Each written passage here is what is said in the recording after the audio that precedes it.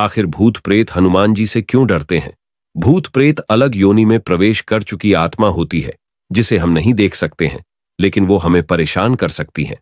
हनुमान जी धरती पर एकमात्र व्यक्ति हैं, जो किसी भी लोक में जा सकते हैं और अपनी इच्छा के अनुसार कोई भी रूप धारण कर सकते हैं।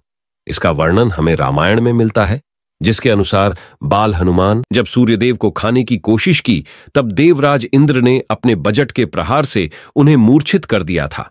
और यह देखकर पवन देव ने धरती से सभी हवा को खींच लिया, जिसके कारण सभी जीव मरने लगे। पवनदीप के गुस्से को देखकर सभी देवताओं ने हनुमान जी को ठीक करने के लिए उन्हें अलग अलग वरदान दिए, जिससे हनुमान जी और भी ज़्यादा शक्तिशाली बन गई। इनमें उनका एक वरदान सबसे खास था सौ सारी। किसी भी लुक में गमन कर पाना का कोई भी प्रेत उनसे बच नहीं सकता। इसलिए तो कहते हैं, भूत पिशाच निकट न आबे महावीर जब नाम सुनाबे दोस्तों हनुमान जी के मानते हो तो कमेंट में जय बजरंग बली अवश्य लिखना।